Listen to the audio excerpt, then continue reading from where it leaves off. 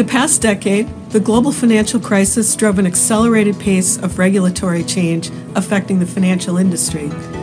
Regulators have focused on a wide range of priorities, encompassing standards for increased capital and liquidity levels, global tax compliance, information, and cybersecurity.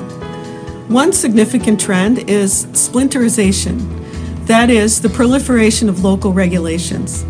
This regulatory splinterization has created more complexity for global banks and their clients, especially when local regulators create potential conflicting guidance.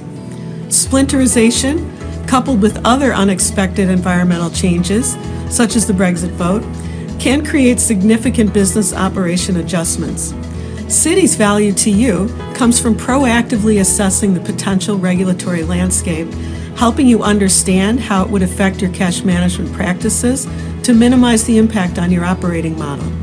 Regulatory changes have not been limited to a particular region, nor concentrated in a particular market.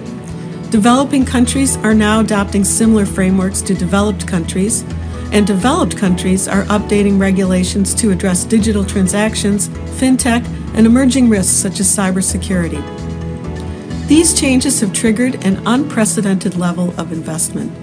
A survey reported in The Banker in January 2017 showed that the six largest U.S. banks spent an estimated $70 billion on regulatory compliance over a recent six year period. A good example of splinterization has occurred in the strengthening of regulations on tax compliance. The adoption of new standards for documentation and reporting have been defined in major regulations such as the U.S. Foreign Account Tax Compliance Act and the OECD's Common Reporting Standards and Base Erosion and Profit Shifting, or BEPS. The goal is to increase transparency of local economic activity and enforce compliance through automated reporting across country lines. A case in point is the implementation of the OECD model tax regulations, as some countries have either adopted modified versions or delayed implementation, resulting in a checkerboard effect requiring significant expertise to address compliance on a market by market basis. At Citi, through our global network and operations in more than 90 markets, we've coupled advanced technology developments, such as big data and analytics tools, with our local specialist teams to ensure we support your compliance with both local and global regulations.